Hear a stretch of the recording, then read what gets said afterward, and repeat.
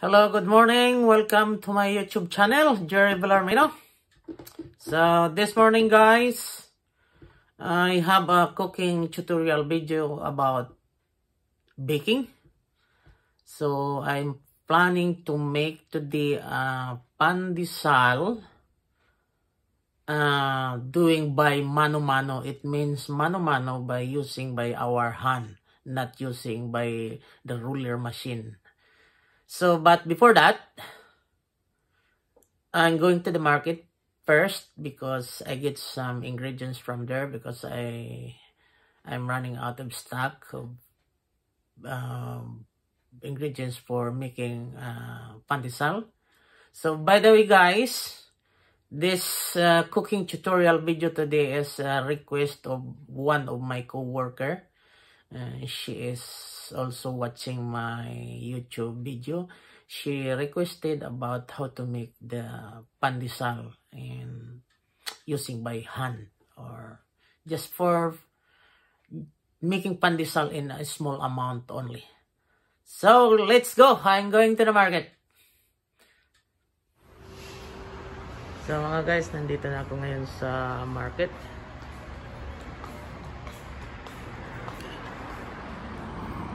Ito na guys, taga-antay pa tayo ng bus.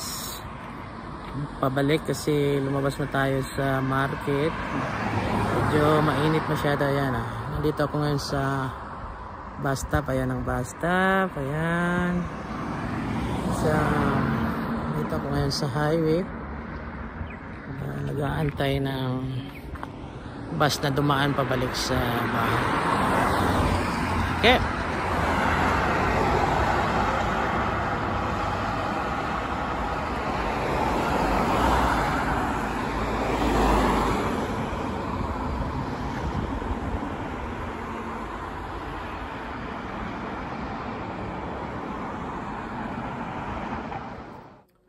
Hello guys, I'm here already. I arrived already from the market. So, I start now our cooking tutorial video about pandesal mano-mano.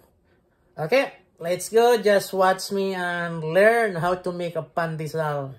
Okay, so our ingredients are 3 cups of flour, sugar, white sugar, or you can use also brown sugar. It's uh, 1 fourth cup. Just mix only into the flour and salt. Our salt is uh, 2 teaspoon. Let's mix in here.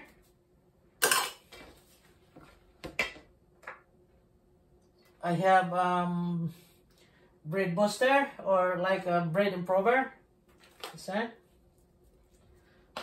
So every one cup of flour is one also tablespoon of bread improver or bread booster. So I have three cups of flour. So I put three teaspoon of like um, bread booster or bread improver. So mix only here.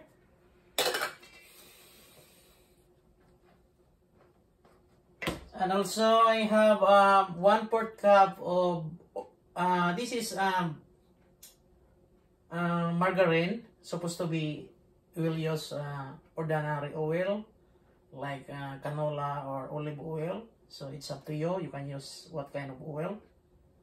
But for me I decided to use the unsalted margarine. I dissolved already. It's uh, one fourth cup so we'll mix in here.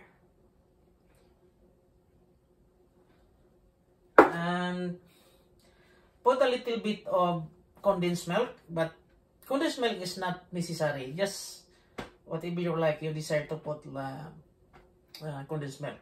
So just only like a little amount. It's up to you what what what how many how the volume of condensed milk you want to put. Okay. So, one egg.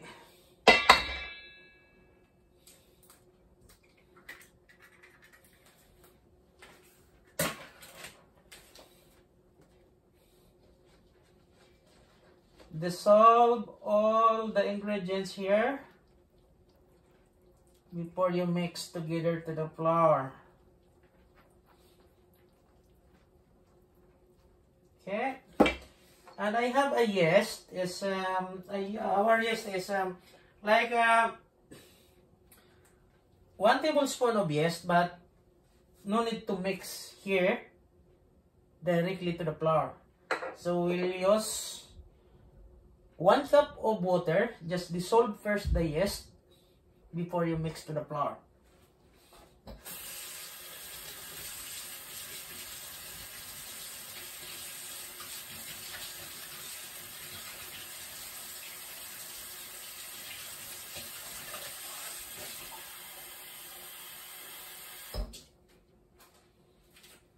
So just only lukewarm.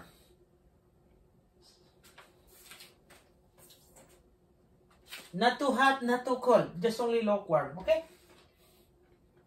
And then put the yeast in here.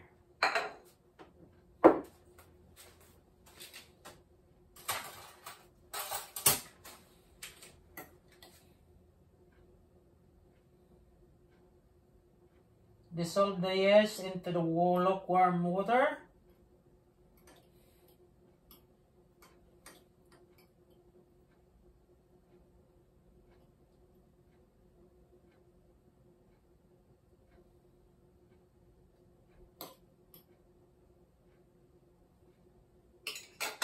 just wait for at least one minute or a couple minutes to become the yeast is to become uh, pop up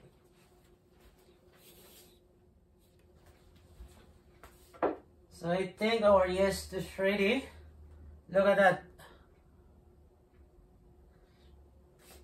So just mix a little the flour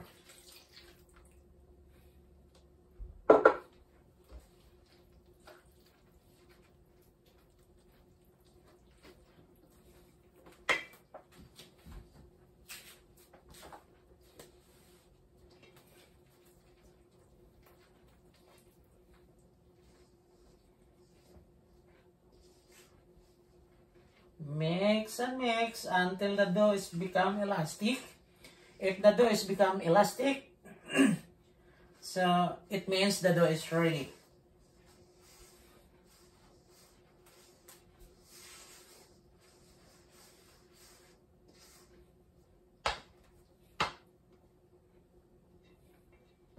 So this time I use my hand.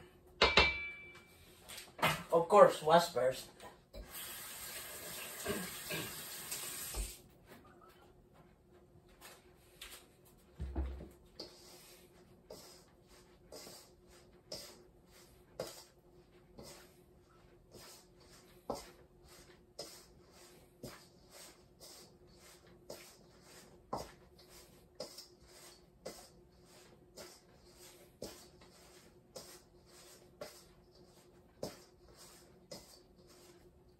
Guys if you cannot follow my video just please uh, watch watch and if you cannot follow just watch and return watching and return watching and then after that you can follow what the procedure how to make the um, uh, pandesal. Or what kind of what kind of videos I put in YouTube so you can follow. Just only returning, viewing my videos.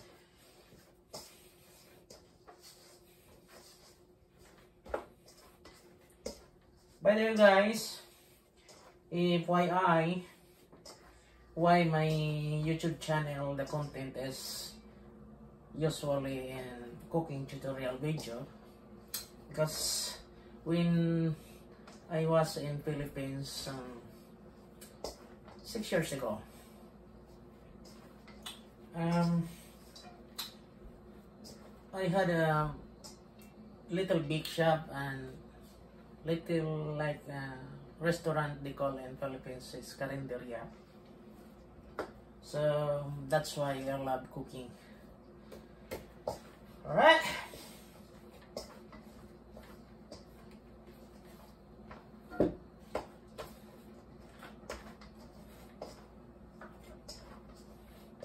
just mix only the dough until become elastic. So this one is not elastic see? So it means not ready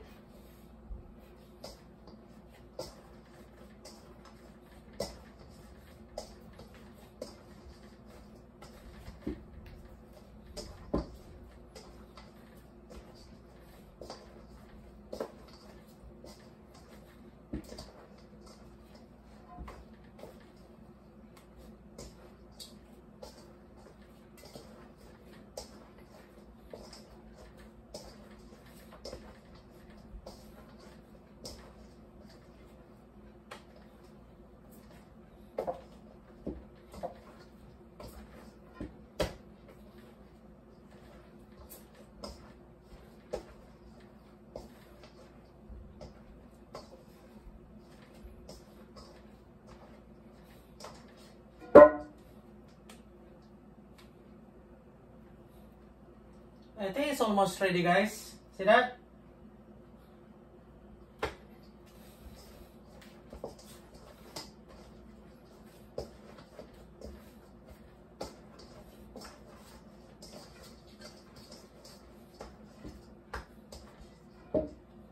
Yeah, ready.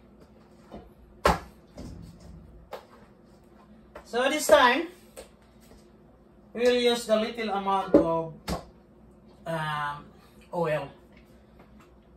So we'll put in here this little amount. And then mix together. To the dough just around. Like that. All right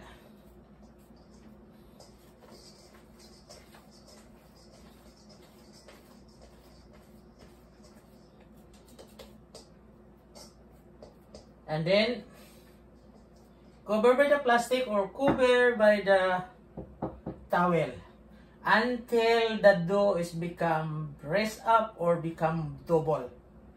And then ready to punch again and then round again. Okay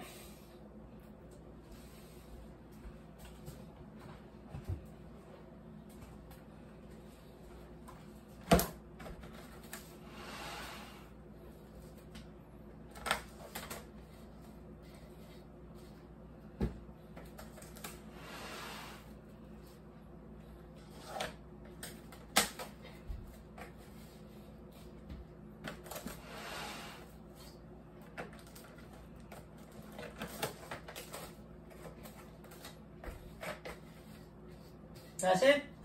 Wait until the dough is become double or like uh, one or two hours. Just it's upon depend how the weather, how the situation is cold or warm area. So the dough is very fast. If warm, the dough is very fast to raise up. Not not like in a big big shop, in like in a big big shop like company. They have also uh, like uh, like uh, like the fridge it's uh, they call warmer. You put like uh, shell by shell. They put the dough when you're making the dough. After you're making the dough become elastic and then put in the warmer and then it's very fast like only um, like only 50 minutes the dough is become double already. So we'll wait that one okay? So mga guys malapit na yung uh, do natin ng pandesal almost ready.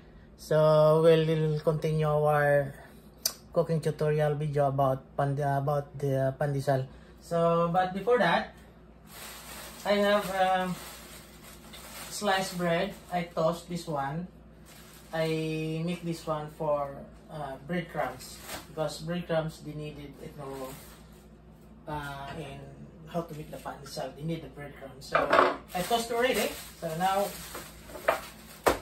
we'll make a breadcrumbs.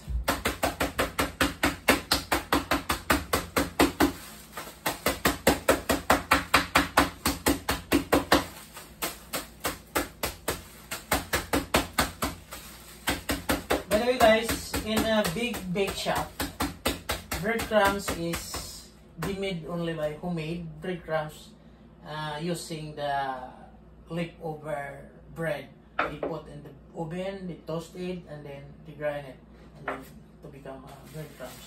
But in in the shop, they have also available breadcrumbs. But for me, I use this one.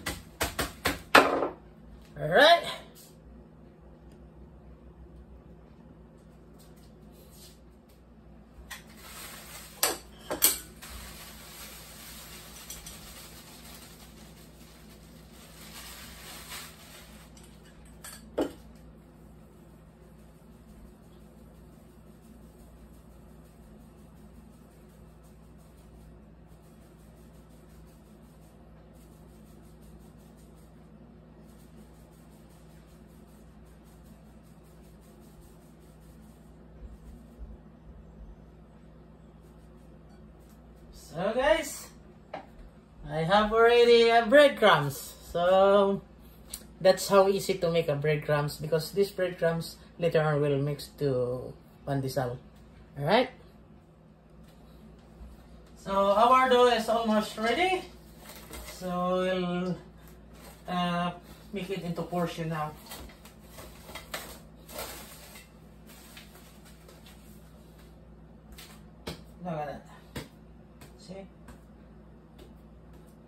Means, because the dough did not uh, back up, so it means it's ready already. So I'll put a little bit amount of breadcrumbs in here. And then we'll put it. Okay.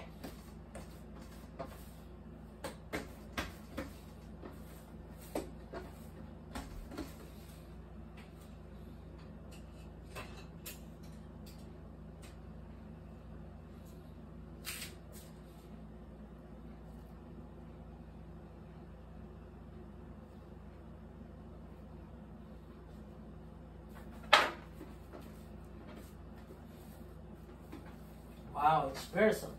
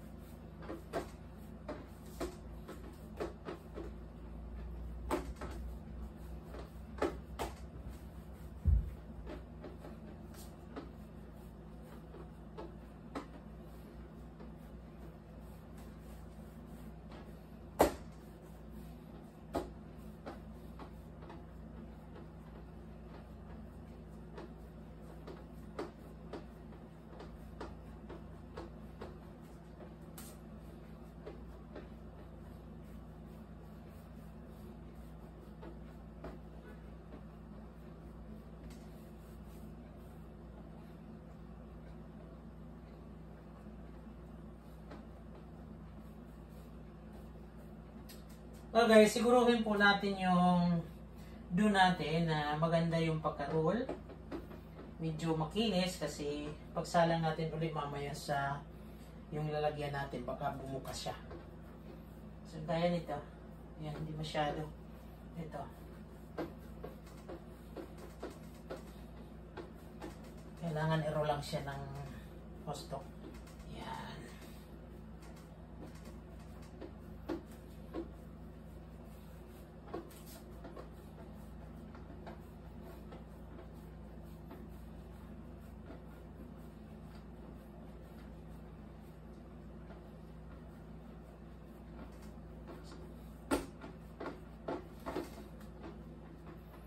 So, matagal din na hindi ko to ginagawa. Also, almost, uh, like, almost 6 years.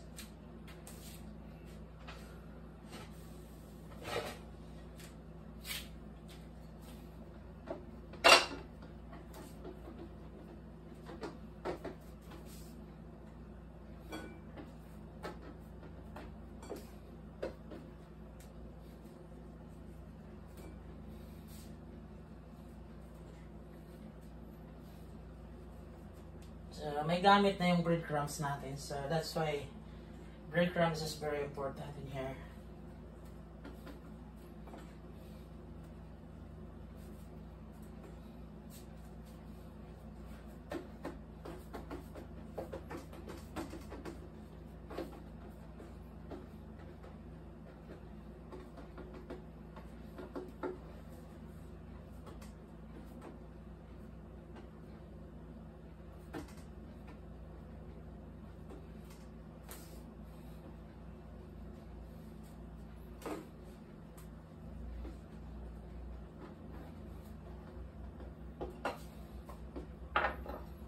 So, start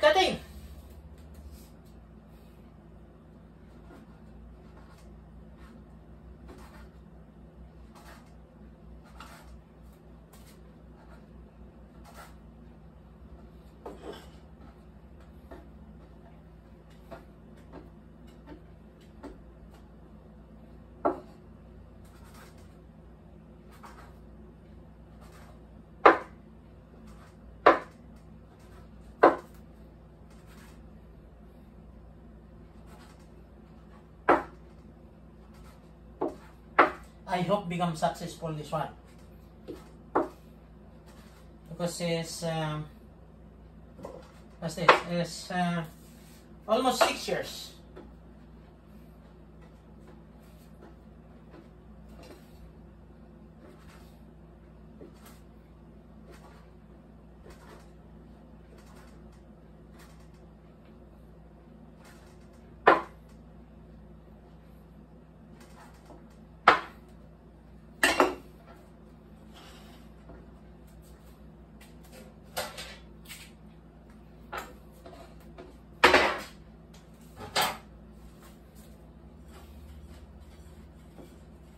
And then when you put the pandesal, don't put into like that. Don't put into like that. Yeah, because this is a cut area, because it's a portion area. Don't cut like, cut like that. Put like that. Yeah, like that.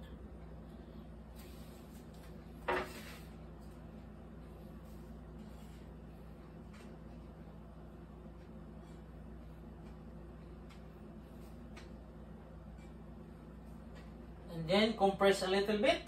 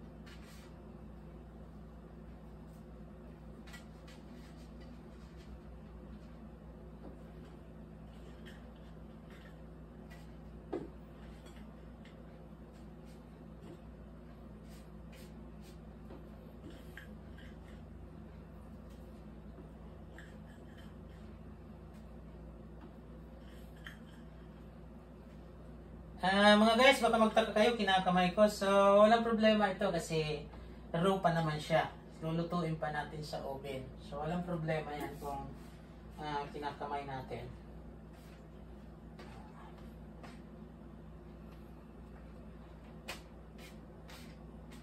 Okay.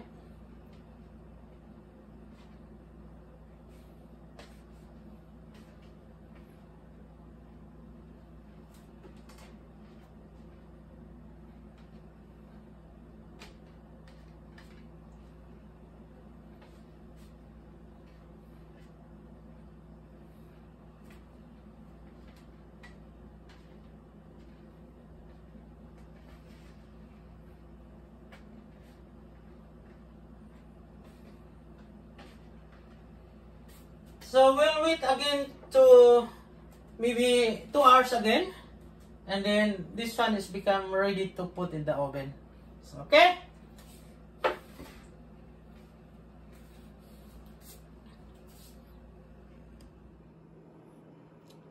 So mga guys, after 4 hours ready na yung pandesal natin na isa lang. Okay? Yan ang pandesal natin. Nakasalang yan ng 390 degrees. Ayan. So, yung init niya. So, try natin mga 25 minutes. Okay. So, mga guys, ayan. Ready na yung pandesal natin. So, subukan natin.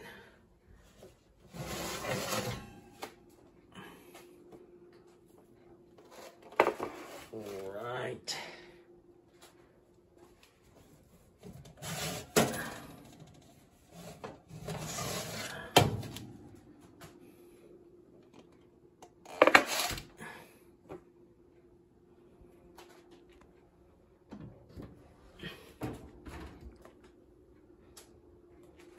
So, medyo na overcook ng kaunti. Pero, okay na rin. So, ito malambot siya, mga guys.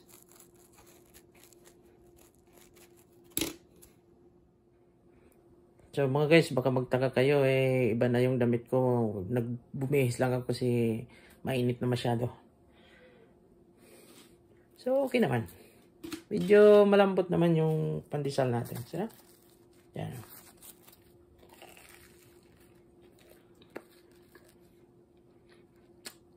It's good.